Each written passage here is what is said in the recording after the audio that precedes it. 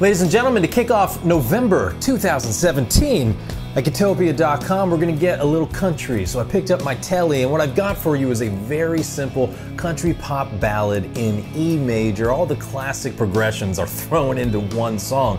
Uh, and instead of just doing a lick over top of this, I put together an entire intro solo to just really kick off the song correctly.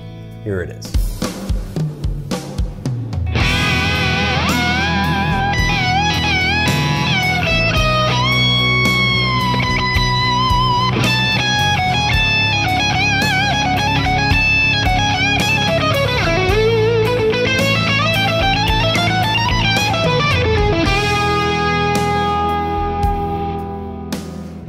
Now I'm going to teach you that note for note. It is chock full of classic country licks uh, that you can do.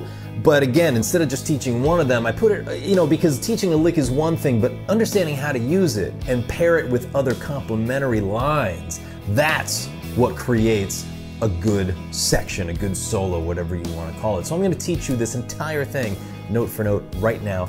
To kick off November 2017 at Guitopia.com, less than four bucks a month. I'll see you over there.